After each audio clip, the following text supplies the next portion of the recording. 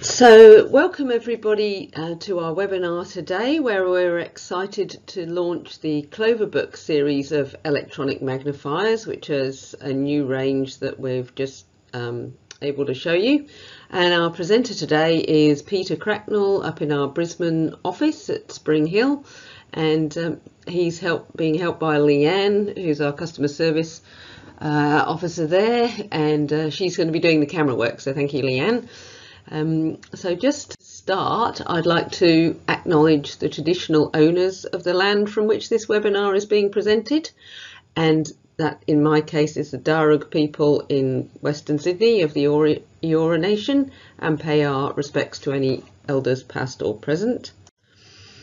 And just a little bit of webinar housekeeping for anybody that might not have attended one of our webinars before. So your microphone will be muted during the webinar just to avoid any background noise, but we will have time for questions at the end. And preferably if you have questions, please put them in the Q&A area. You can click on the little Q&A icon at the on the Zoom controls or in the chat. Uh, if you're a keystroke user, that's Alt and H to get to the chat. And we are recording the webinar, so that will be sent around as a video link afterwards. And uh, yeah, that mentions a survey, but we've not got a survey today. So just a bit of an overview of what's going to happen during this webinar. So we, um, Peter's going to, um, as well as giving an overview of the kinds of electronic magnifiers that are around at the moment, um, introduce the Cloverbook series and how that fits in uh, amongst the range of devices that we have. And then um, we'll be giving a demonstration of both the Cloverbook Lite model and the Cloverbook Pro and the differences between them. And then we'll have some question and answers session at the end. So um, over you to you, Peter. Good. Can you hear me? Yes. Yeah. Great. Great. Okay. Um, so um, we're going to be concentrating on electronic magnifiers, and uh, I divide those up into three basic sorts or, or ranges, uh, which I describe as pocket-sized, uh, portable, uh, or mid, mid-sized portables, and desktops. Um, so they all have their, their different applications. Obviously, a pocket-sized electronic magnifier is extremely useful for taking anywhere, uh, for reading menus, brochures, and so on when you're out and about, or any any part of the house. And so they're very popular, of course, because they're so convenient. The only issue with them, of course, is the screen is quite small because they're pocket sized. The next size up is what we would call portable in the sense that they're battery powered, rechargeable batteries, or they have bigger screens. They can be moved within the home or the classroom and so on. But you wouldn't be taking them to the shops, you know, to read labels and that sort of thing. And the final category is what we would call a desktop electronic magnifier. And a desktop electronic magnifier will just sit in one place because the screen is quite large, gives great field of view and has many, many features, but it's going to sit in one room. Okay, so what I might do is uh, just, uh, yes, thank you very much for the message. Um, I'm going to um, I'm going to uh, pan around the room just to show you those three major categories. Um, I'm going to hand the camera to the proper camera woman. Right. You can see me okay there now? Yep. Okay. So we're going to start with the pocket size. So as you can see, this is our smallest electronic magnifier, and it literally is pocket sized. It just fits into a top shirt pocket. Uh, we have slightly larger ones, five inch screen, six inch screen, and so on. So I would still call these pocket sized, or handbag size if you like, or rechargeable. And so the idea is that uh, you simply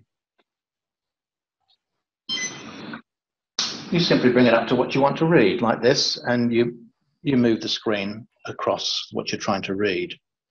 Very, very convenient for labels and a bit of spot reading. And the, um, the limitation is the field of view. You, you have to move them a lot. Longer words may be too wide for the screen.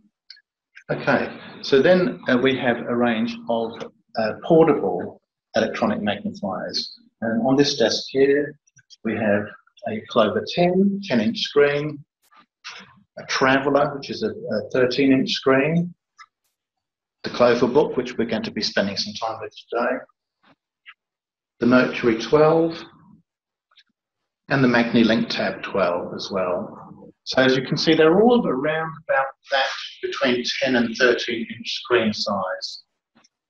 Now I'm going to show you what the desktop electronic magnifiers are like. And now we're talking about 24 inch screens, which gives us a, a great field of view, fantastic for, uh, for, for reading, coupled with a sliding platform that we can move the, the prints left and right, uh, or a book and so on. Very good for heavy duty reading and writing tasks as well. But obviously, they're desktop, they're not going to be moved from place to place. So the, um, the mid-range size is it's really exciting because it, it, allows you to use it from classroom to classroom, from room to room. For example, you might be doing something in the kitchen, but then you want to, might want to read the TV guide in another room. You might be in a business meeting and you want something that's about a laptop size that can be taken from place to place. So the, we've had for some time various sorts of mid-sized uh, mid-sized electronic magnifiers. A very popular one uh, is the Clover, Clover 10, 10 inch screen, very simple um, electronic magnifier. And I'm going to put these into context so that you'll be able to see uh, the strengths and weaknesses of each compared to the Clover book, which I'll be spending some time with. So this is very lightweight and transportable. It can be clipped to a frame that allows it to be above the working material. One of the features of the mid-size electronic magnifiers is that they raise the, uh, the camera and the screen above the working area, which allows us to not just read, but also to write as well. So we can bring pens and so on under here to do a crossword or to fill in a check or a form or something like that, as well as read. And of course, we can adjust the magnification and so on. This one has lights as well,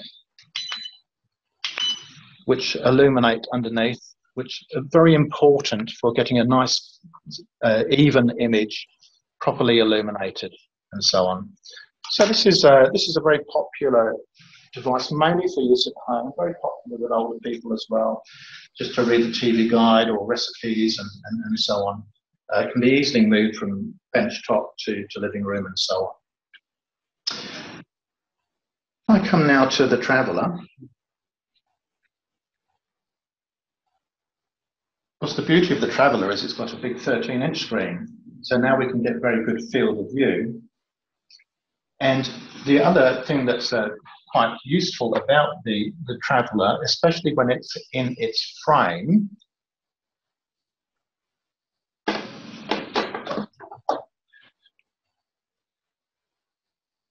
is that it has a sliding capability. So if I have the magnification up a little bit, whereas on the Clover I have to move my paperwork by hand left and right, on the Traveller I can actually move the whole traveller, which is one of the reasons why it's called the traveller, left and right, like this.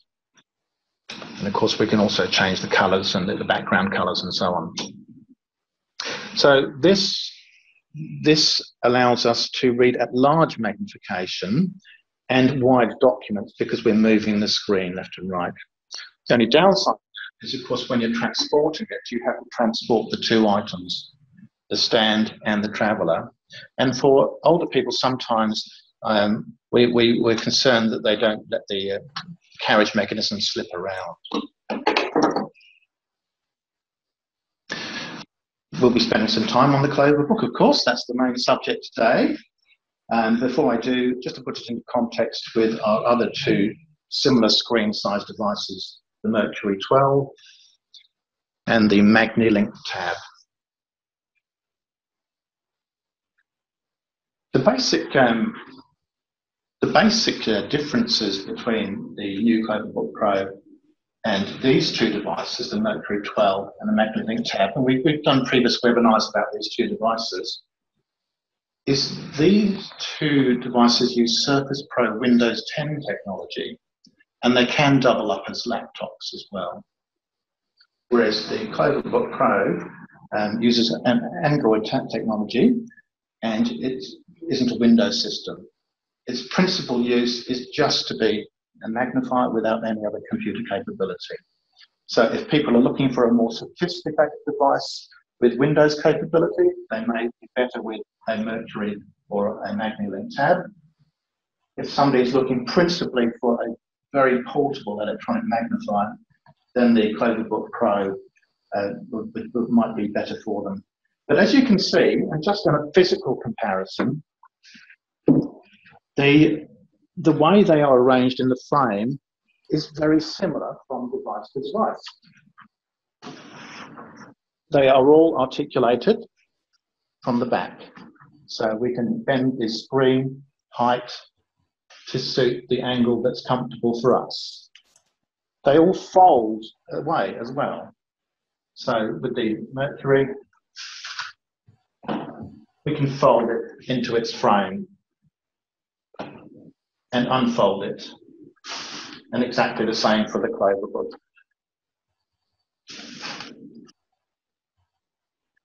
One of the nice things about the Cloverbook is it has a convenient carry handle. And it uh, feels like it's uh, going to be protected uh, because of the, the backing is quite strong. It feels nice and firm. What I mean by that, it's not flopping, it's actually going to stay in position. You get a, a definite sense of it's being firm on, on its joints.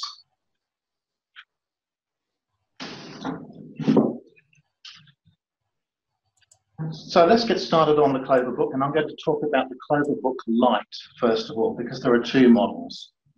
There's the Cloverbook Lite, which is principally a magnifier, and there's the Cloverbook Pro, which is exactly what the Cloverbook Lite is, plus some extra features, including uh, the ability to speak out loud and the ability to use a distance camera to look at things at a distance. And as I'm talking about this, I may refer to some of our other devices to put them to compare them. So the first obvious thing is about magnification. So we, we're going to be using everyday material for this demonstration. So I'm going to use the same newspaper across all the devices. So you should be able to compare um, the images and so on from one screen to the other. But as you can see, it's got a lovely, lovely sharp image.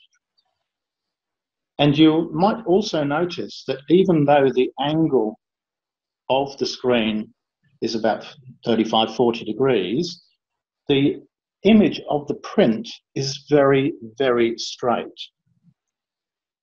It's not being distorted in a tent type effect, as was the case, or is the case with our, with our clover uh, in the clover 10. In the clover 10, in the clover 10, what you should see is because of the angle of the screen, you should maybe see that the columns are actually on a slight tent effect slope. And that's simply because the camera is, uh, the camera and the screen are already on an angle. What we do with the Clover book range is we have a feature called uh, image correction, which actually corrects the image to be as straight as possible automatically. So even if I adjust the screen angle, it will adjust to try and keep it as straight as possible automatically. Now you may notice that as I flatten the screen, in other words, it's more horizontal, I can fit more columns across the screen. But that's not comfortable when we're sat down. So in that, invariably, you're going to be finding a compromise where you will push the screen at an angle so it's more comfortable when you're sat like this. What are the controls? One of the things I really like about the Clover book is it gives a combination of choices. You can either operate it with real buttons and dials, which is often very, very popular for some people that are, don't like touch screens, Or if you do like touchscreens, you can use traditional iPad type gestures to magnify with pinch zoom. We can also do that with the other two, the Mercury and MagniLink. The difference is the Mercury and MagniLink are only touchscreen. They don't give options for uh, for the uh, for the dials.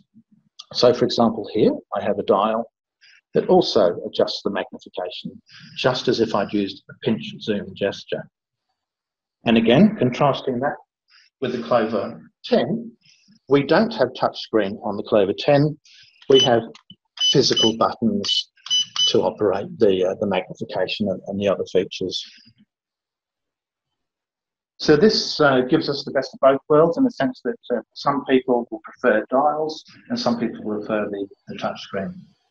One of the unique things about the Cloverbook, and when I refer to the Cloverbook, I'm referring to both the Cloverbook Lite and the Cloverbook Pro here, is the ability to not just pinch zoom, but also pan with a, with a gesture. So I can actually push the image left and right, back and forth. And this is a live image. It's not a photograph that we've taken.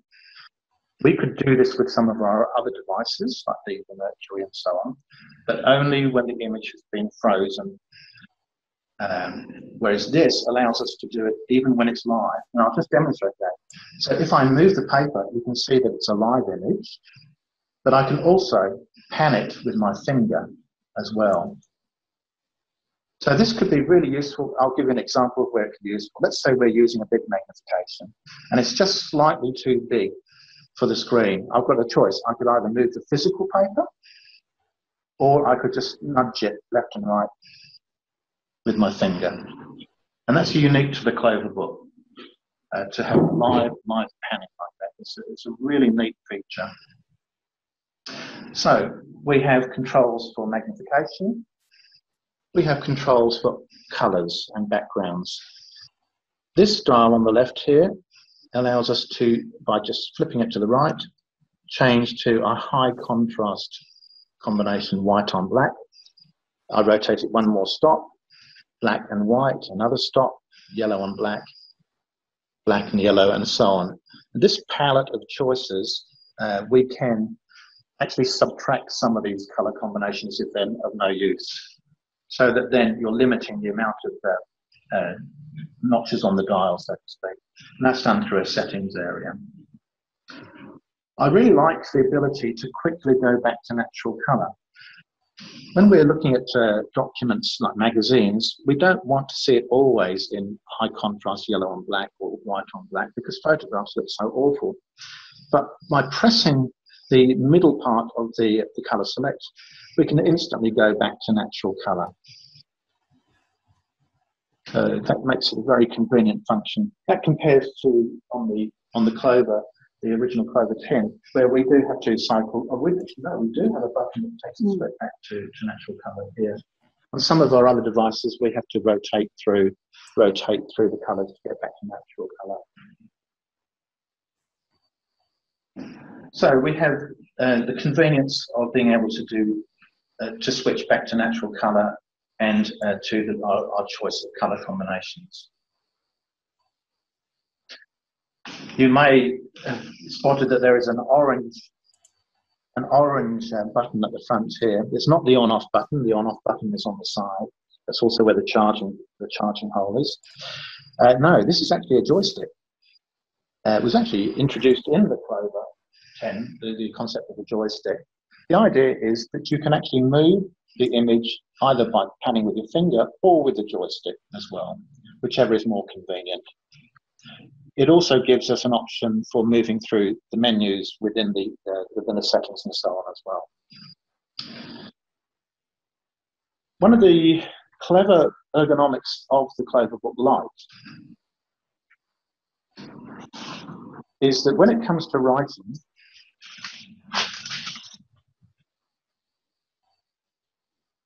the pen is still visible the real pen, the real hand, is still visible just in front of the screen. as well as the magnified view of the um, of the uh, of the writing. So this is very useful for people who have trouble when the pen disappears behind the screen. This was often the problem. Uh, it's a little bit of a problem, but not so much with the with the, with the Clover 10. It does tend to sit behind the screen a little bit here, whereas on the Clover book, the camera is angled in such a way that the, the hand is completely forward of the screen. And that's also important for writing because we don't want the height of the pen to be obstructed by the, the screen. We want to have full range of movement when writing. And that's made possible because of the camera angle of the Clover book. So, of course, you can see the applications here for filling in forms and, and so on.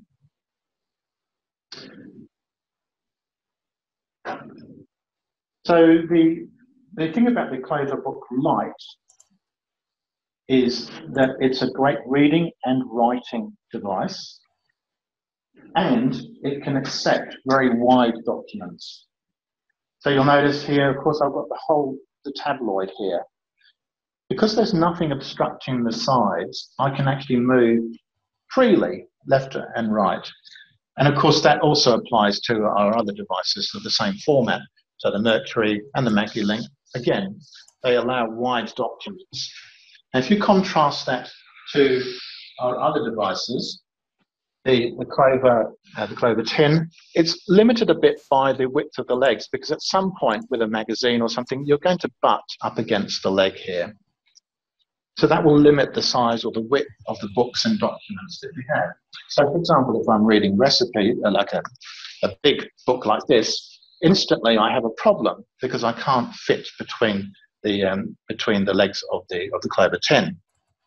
Also, on the Traveller, for very wide books, I can't fit them within the legs of the stand. For the Clover book, no problem whatsoever. We can, and again, as I was saying, we can either move the, the real book, or we can just move the the uh, the, uh, the the live image here like this. Very, very convenient, well thought out. All right, so um, the Clover, Clover Book Lite, we anticipate will be very popular for people that need a highly transportable um, electronic magnifier with a, a, reasonably generous screen size without being over the top. Uh, I'm now going to introduce you to the Cloverbook Pro. Now, the Cloverbook Pro is exactly the same appearance as the Cloverbook Lite with one extra thing. And I have to confess, I have been cheating here. I've been pretending this is the Cloverbook Lite, and in fact, it is the Cloverbook Pro model. Um, so the Cloverbook Pro includes everything I've talked about in the Cloverbook Lite, but in addition, has an external camera, which conveniently swings out from the side of the of the um, of the arm here. Now the external camera swings out. It can rotate, and I'm rotating. This is not electrical. I'm just simply rotating the camera. And it's even got an extra little adjustment here um, for, for uh, compensating for angles and so on. I'm just going to demonstrate how and why we would use an external camera. So I think the best way is to talk about a scenario like a classroom, where you have a student who needs to be writing, then you can be reading, not the newspaper, I hope, but um, their textbook. And they also need to see the teacher and the whiteboard. So what we can do with the Cloverbook Pro is we can press a button on the side of the of the Cloverbook Pro, and it will then give us the option to see a distance view, which I'm just going to reduce the magnification a bit so you can see what we're looking at. So the student would be doing this all themselves. They're in control of it. They can rotate the rotate the, the, the head of the, of the camera here, angle it, zoom, And so now we're looking at the blackboard, we're looking at the teacher's face, or we're looking at maybe some overhead PowerPoint presentation that they're doing. The students in control of that magnification, again, they can use they can use pinch zoom or they can use the, the, the dial there. Now, what about if they wanted then to also see their work at the same time as the, the, uh, the distance view? Well, the same button again allows us to split the screen. So we can have their work down here and the teacher in the top. We can also have them side by side, the near view and the distance view, to maximize the, uh, depending on the aspect of what they're trying to read. So this can be very, very powerful. One highly transportable device with a distance function and a close text function as well. And then back to back to the, uh, the, the what we call the text view here, like this. Let's also take a, another setting, not, not so much a classroom setting, but perhaps a domestic setting. What about if somebody wants to just check their makeup or something like that? What they can do is they can rotate the camera around towards themselves. Switch back to that. You'll get a shock, of course, because it's me magnified like this. It's going to it focus. So now we can do uh, makeup and all that sort of stuff, just check any blemishes and so on, as if it was a magnified mirror. And this is where the sort of example of where the, the artic extra articulation comes in here with the bend here, like that. So that's a, a lovely extra feature for domestic use using the, the, the one camera. I really do like the way this camera is not obtrusive. It, it doesn't really stand out too much. If we compare it to the, the MagniLink camera here, just going to switch it on. The MagniLink camera is a lot bulkier. It is a better camera. It's got more megapixels and, and resolution and so on, but it certainly is a, a clearly a bulkier camera.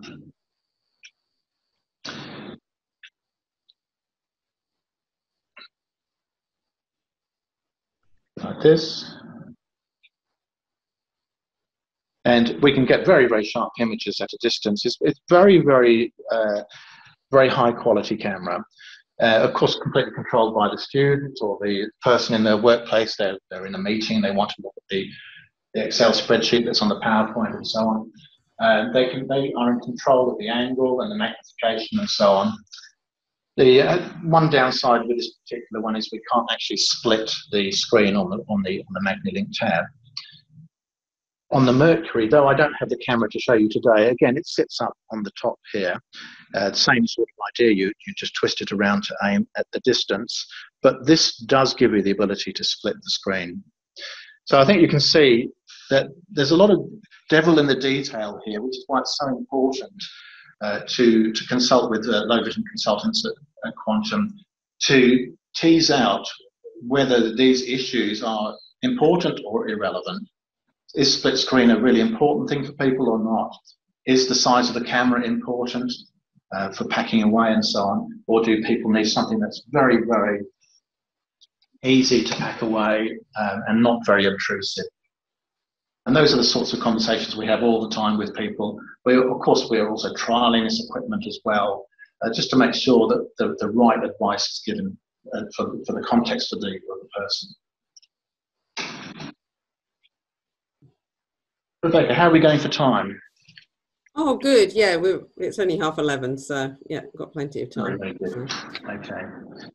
Um, um, uh, before I move on to the text to speech, uh, are there any questions that are queued up at all, or uh, any questions people would want to ask about the magnification? Um, we have had a couple of questions that have popped up. So one was, um, where are these items displayed, and do people need to make an appointment to trial them? Um, So yeah, we can. Yes, uh, are you able to talk to that, Rebecca, at all? Yeah, yeah. So I mean, we do have our well. Um, generally, we have our uh, three main um, site supports, or sorry, four site support centres, and you, you do generally need an appointment um, for those. Um, also, at the moment, obviously, it's a bit of a fluid situation with the lockdown. We can't do in person appointments unless it's really urgent at the moment, and we need to get approval for that um, in the lockdown areas. So, um, we've got ones in um, northern Sydney, in Thornleigh, in Spring Hill, where Peter and Leanne are, um, in uh, Melbourne in Hampton East at the moment, although that's due to change, and in southern Sydney in Kirrawee with Jeff. Uh, but we do also um, go out to um, to show people equipment as well in their homes or workplaces or schools. So and um, oh, we've also recently got David in South Australia, David Beams in South Australia as well. He's able to look after people and people in other states. We can get devices to them. So um, yeah, so yeah, they are available to trial, but yeah, we'd have to make arrangements. So just contact us. So yeah. Um, we also we do co, we also do co-consultancy as well, don't we, Rebecca? So oh yes, yeah, of course. Yeah. So yeah. Yeah.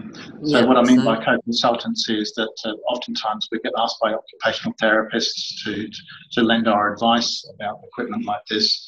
Um, mm. So the occupational therapist would be obviously pulling everything together, um, but we would be a co-consultant in our showrooms or, or in people's um, homes and, and, so on, doing a co-consultancy, yeah. for example, through the NDIS and so on. Yeah, and um, we have been able to do telehealth things as well, sending equipment out, and then if people got access to, to Zoom or FaceTime or whatever, um, Teams, doing things that way, you know, while we're while we're locked down, particularly, or if in more remote areas so that we can't easily get to. So yeah. Uh, the other question was from David Vasnakis. Um, with the Clover book, I assume you can turn the gestures off if not needed or preferred. I'm not sure about that. Do you know, Peter? Yes, uh, um, uh, I, believe you can through the through the settings. Um, uh, t- turn some of those features off. You can certainly subtract some of the, the features. Um, with, with the gestures, um, I'd have to check that on the Clover book certainly with the, the MagniLink of the Mercury, we, you can certainly t- turn off some of the touch and tap gestures. Uh, I know I know what you're referring to. So, for example, um, there's the ability on the MagniLink tab to use two finger swipes to change the to change the um, the background. Um, similarly, uh, on the on the Mercury as well. Um, so um, yes, so it, uh, I just need to check that uh, in the settings yeah. yeah, I had a quick look in the manual. I'm not sure if um, I couldn't see the, the option under settings to turn the touch gesture off, but yeah, I, I briefly looked. So yeah, we can get back to you on that one. Um, and I, I, guess that could be an issue for some people who they may be close to the screen with their nose. It's not recommended, but sometimes that is the case. Uh, and and that sometimes you want to disable that touch screen functionality. Mm. Yeah. Yeah, no problem. So, All right. Well, I, I might move on to the the area that we call text to speech or speech out loud. Um, mm-hmm. So everything we talked about so far has been about magnification and contrast and so on, and about ergonomics of uh, reading and writing. Uh, some people find that they tire when they're visually reading, and they like to take advantage of text to speech or the ability for the device to read back out loud the, the materials underneath. So just to put this into context, the, um, the, the, the Clover 10 and the Traveller cannot do that. They, they are just magnification devices. Um, but three of these devices, the um, Pro, the Mercury 12 and the MagniLink tab can, can provide text-to-speech output. And I should mention there's some common factors. The, they can all have different languages selected. So if you selected, say, Italian, um, and you have that language loaded into your device, uh, then it, it, could be read back in, in that language. It varies from device to device as to which languages are preloaded. Uh, so, so uh, again, you'd have to you'd have to check that level of detail with us as to wh- whichever language the, your uh, your customer or your participant needed. So uh, let me just give a demonstration of the, uh, the text-to-speech.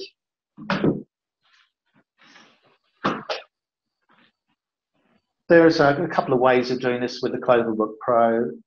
There's something called a, quick text-to-speech, and there's there's another one through the home setting, which uh, which uh, gives you some extra options.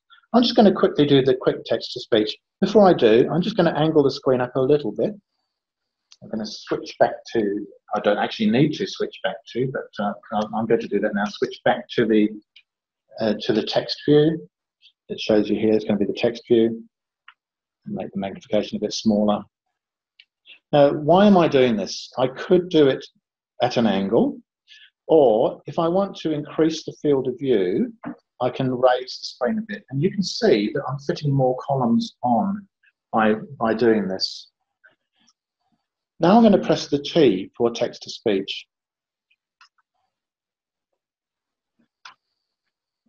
Now again, it shows me a window where I can see how much of the document I can fit across the screen. One of the great things about the Cloverbook Pro is the field of view is so tremendous. I can fit, this is a, a tabloid newspaper, I can fit one page of the tabloid across, not the whole length, of course, um, because of the aspect of the camera. But that's a tremendous amount that I can fit into that field of view.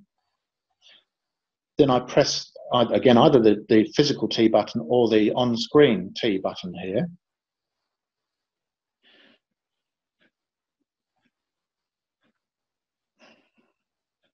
And what it's going to do is going to divide up the page into the zones that it can understand. You may actually see some of these zones being shown now. These are the, and it will start to speak once it's identified all the zones.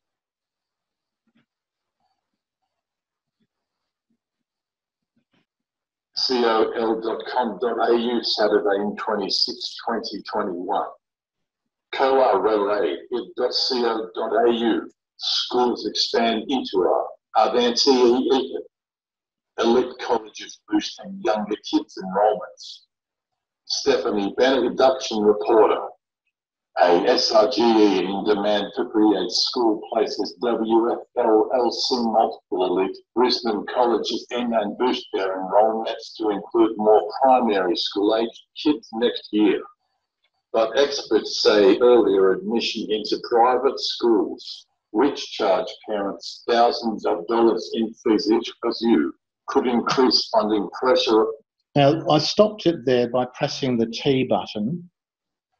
I can also uh, just move the focus somewhere else. I'll just do that now. Pressureostat primas illustrated St. Rita's College B. Meanwhile, St. Aidan's Anglican Girls' School has seen a surge in demand for year five places but Principal Tony Reardon said they didn't yet intend to add additional classes. Deakin University senior education lecturer Emma Rose said increased year five and year six private enrolments. Now I pause that again with the T button on the side here. So what that gives me the ability to do is whilst it is reading, to pan around to some other area, hold the, the, the block, and it will read from that point. The settings for speed and so on, they are available by pressing the home button and uh, we can then adjust the, uh, the, you know, the skipping forward to, to another thing, pausing and playing. You may also notice in there that there is a letter P here. Now this refers to the fact that we're, we're seeing the picture view, the real facsimile of the original document. But I can also ask it to show it text mode. in a text mode. I've just chosen this particular font and background and so on, but this is a single column extracted from the original uh, with a moving highlight through it. Private enrolments would impact that schools given funding was determined by the number of students. This way of funding affects our whole education system and absolutely there's a flow-on effect she said. But parents. Um, so this, and I can also move up and down this column just with the, the, the panning gestures as well. Also, I can use the, uh, the pinch zoom as well. So the things I've learned about pinch zoom from the live view, I can apply in this column view as well. Many people like the column view because they don't see um, the, the, the cursor moving through, the highlight moving through the, the whole document left to right and so on. It's all contained within the window available to, to, to, to see the, the, the text. Again, we can change the backgrounds and so on just by rotating the, the normal color dial to choose different backgrounds if we prefer. So the text to speech, you can also change the voices and so on.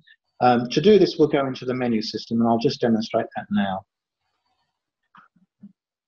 So I do a long press of the home button. I just come out of the, uh, the text to speech area. Long press of the home button. The settings are over here and I'll come to that in a second. I just want to demonstrate that one of the nice things about the Clover book is that we can use the joystick to move through the, uh, the settings as well as electing to touch the various uh, options here. There is also a setting that will uh, speak back as we move through menus as well. So let's go to the settings.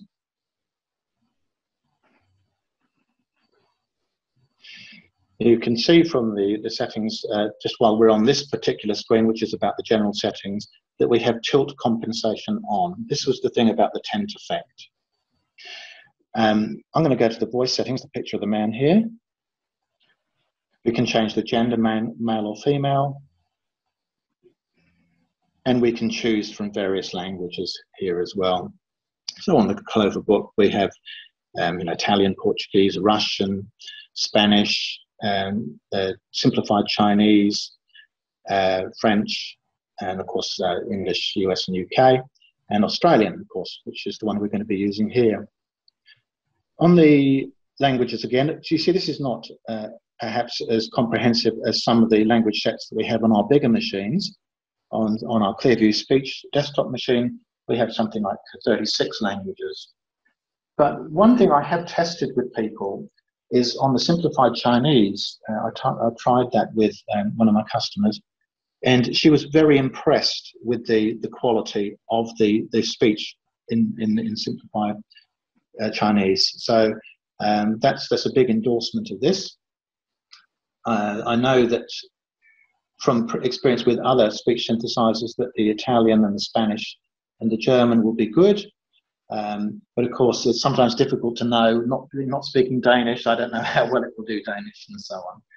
Um, but th- it's important to understand that this is not translating from in- English to Chinese or English to Italian.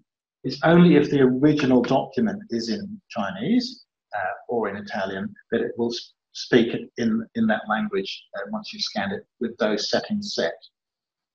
But that's just an important point. It's not translating from one to the other. It's simply speaking uh, in the correct, in the correct uh, synthesizer uh, if you've got the original language under there. Okay, so I'll come out of that. And this button here means go back. And we're back now to the, the, the, main, the main area there. So the one that we've been using previously had been the magnifier settings and the text-to-speech settings. This is the other way of getting into text-to-speech. As you can see, it just presents us then with a window which we capture, with which we capture everything like that. Mm -hmm. So I'm just going to compare that to the, the Mercury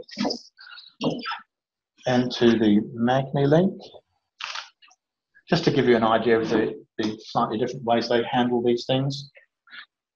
So with the Mercury, we have a menu here, and I will just flatten it up a little bit as well, just to be fair.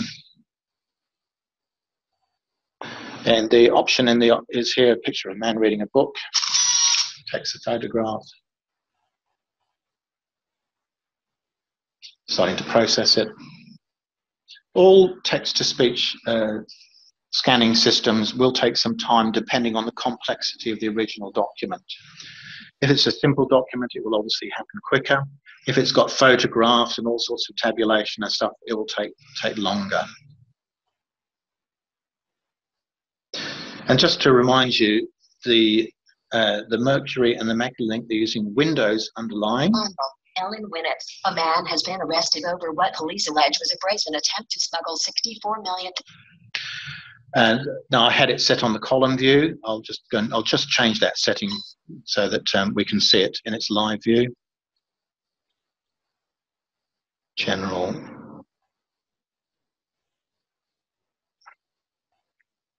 Speech. Reading. Original. Let's do the same thing again.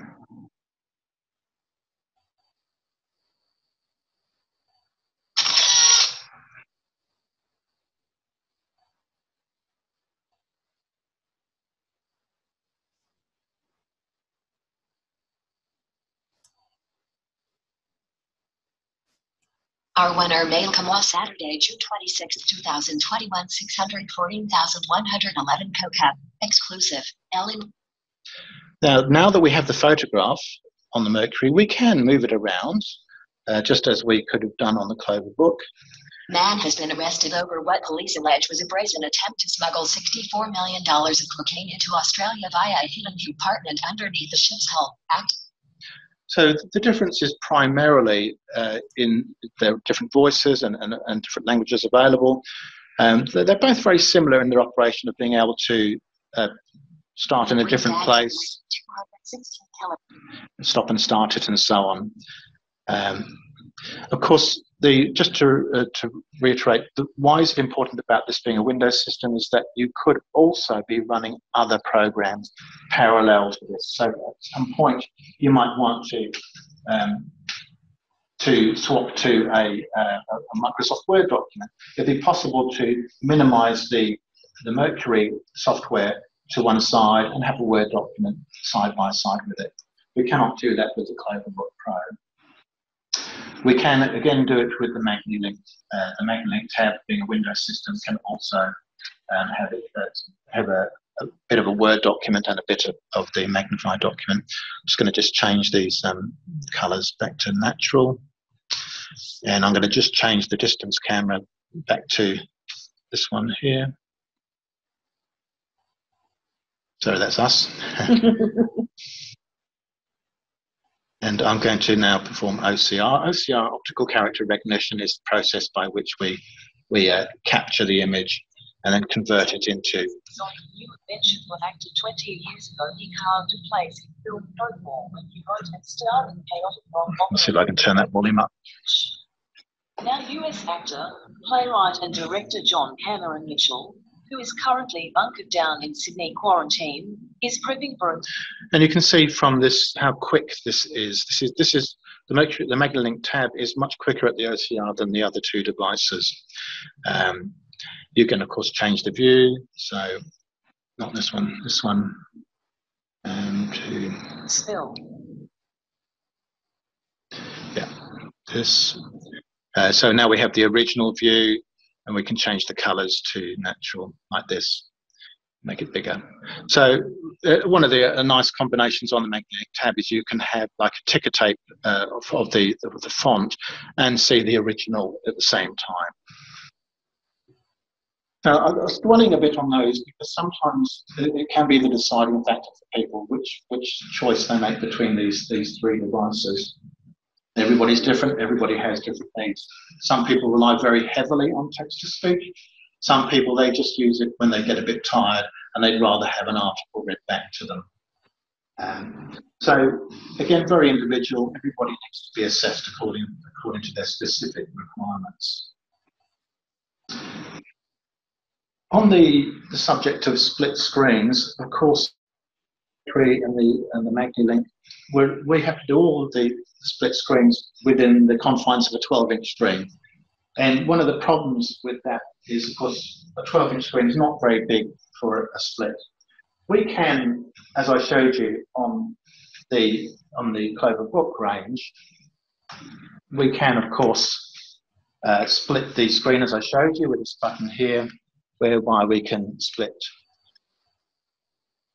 So we can either use the, the distance camera we can split the screen either horizontally or vertically. Um, where space permits, it's also possible to just connect a computer monitor to the Clover book in, in addition to this screen, just a regular computer monitor would do. And then you've got more choices for, for the way we can split. I'm just going to go and get a computer monitor and demonstrate that.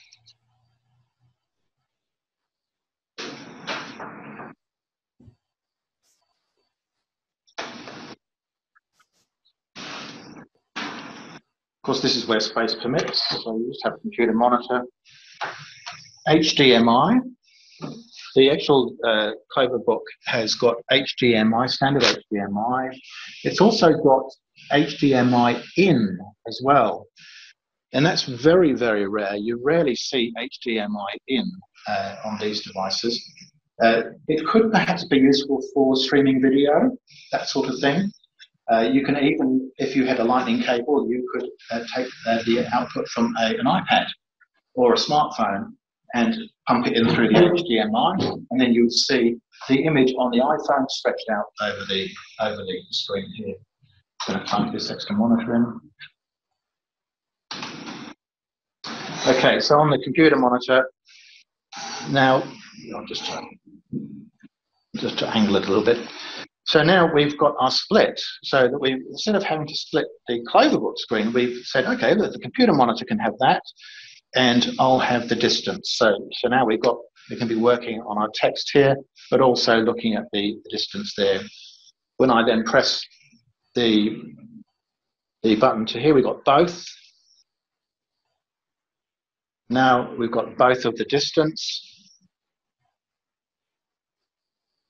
And now we've rotated it so that the Clover book has got the, the, the, the text reading area and the distance view is apportioned to the external computer monitor there like that. So where space permits, that's really quite a useful combination there as well.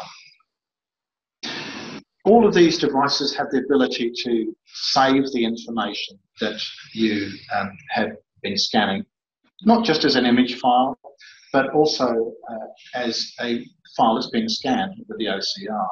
All of them have this ability, and they all have slightly different systems for saving. Um, the Cloverbook uses a system whereby you can actually uh, use a voice tag as well. So, in addition to just having a dated date stamped file, it will also have a voice tag as well, so that you can more easily recover it from the, from the library of, of scanned files. And the Windows systems, the Mercury and the Magnet, they just use conventional File Explorer, of course, to, to, to save the, the files. So I should talk a little bit about pricing as well. All of our prices are on the, the website and uh, Rebecca will give us details for that uh, towards the end. But um, I'll just put it into context from, from the beginning here. With the, with the Clover 10, remember this is, has no text to speech, no distance camera or anything like that. Uh, this one is 2,100, including the fold-up frame. You can detach it, of course, from, from, the, from the frame. And when you do that, you can open up the legs and it can rest flat on the on the paperwork. But today we're talking about devices that can be raised up above the paperwork, like the Cloverbook can. So this is 2,100. The Traveller, including its frame, is 3,990. So there's a fairly big leap up into to this range here. And remember, of course, that the Traveller is an electronic magnifier without text-to-speech as well. The Cloverbook Lite, and to recap, the Cloverbook Lite does not have the distance camera and does not have the text-to-speech. That's 2,950. And the Cloverbook Pro is 3,940, so almost $1,000 more.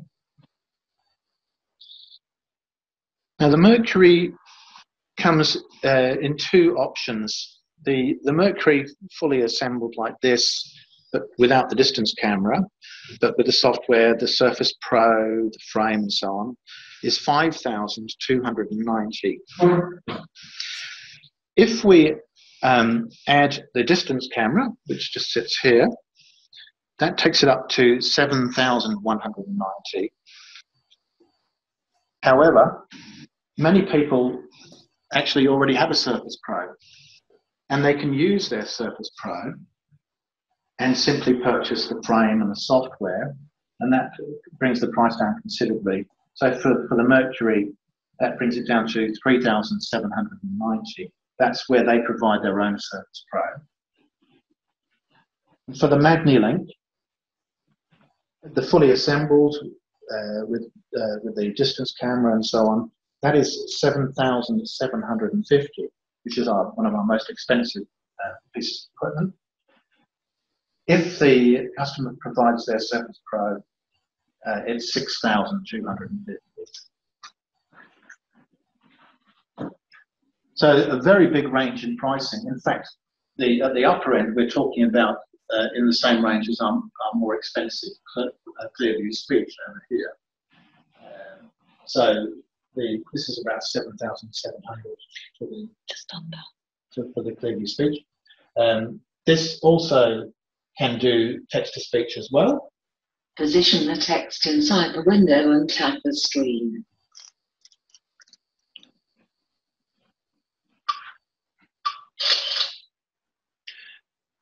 And just to recap, of course, the Clearview speech is a desktop machine, so it can't really be easily Salmon moved. fish cakes. Two. One. Potatoes peeled and diced 200 grams tinned salmon, drained sea salt and freshly ground black pepper. And the same features for being able to push around the image and start somewhere else. TBSP fresh parmesan cheese, grated one cup breadcrumbs, one You can see that um, the, the, the smaller, the mid-range, the portable ones have copied a lot of the features of the Clearview speech in terms of ease of use, the touch gestures and so on, but of course compressed them into a much more portable format. So I hope that gives you a reasonable overview of the, the Clover book, but also put into context with all of the other options as well. We think it's a very useful mid-range electronic magnifier. We, we think it can be used at home, in the workplace, and in education as well, and there will be other, other places, of course, it can be used. Uh, so very, very excited to, to launch it here. And um, as we mentioned before, we'd be very, very pleased to demonstrate it and to trial it with people. I'm going to hand back to Rebecca and also go to questions as well. Yeah, thanks so much, uh, Peter. That's great. Um, yeah, so yeah, that's a really comprehensive overview. So yeah, if people have got questions, that there have been a few um, put in the chat, so we'll try and answer those. So um, I'll just stop sharing again. So um, one of them has been, I think you already answered this, but does the Clover Lite have text speech to, oh, speech to text? Yes, or text to speech. I'm just not sure which way around the person was. They Um, said sorry. speech to text, but I don't know. Yeah. Um, Ah, yes. Uh, just to be to clear, speech. speech to text is dictating to it, whereas text to speech is it speaks back to you. Yeah. Yeah. So um, yeah, the light doesn't have the text to speech feature. That's just the pro version. So I hope that answers that question. And yeah. Um, and can you do OCR on a distance image? No, you. Can you do OCR of an image? a Um, distant distance image. oh, distance, yes. Um, um, you, you certainly can with the, the MagniLink tab. Um, I have never tried that. um, I, I'm, I'm imagining you can. Um, let's just uh, go to the distance. We have it on the poster there. Let's give it a go.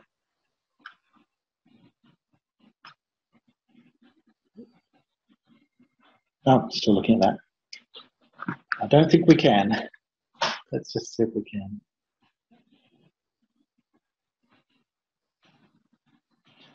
Um, I don't seem to be able to do that, Rebecca, no. Okay, no problem.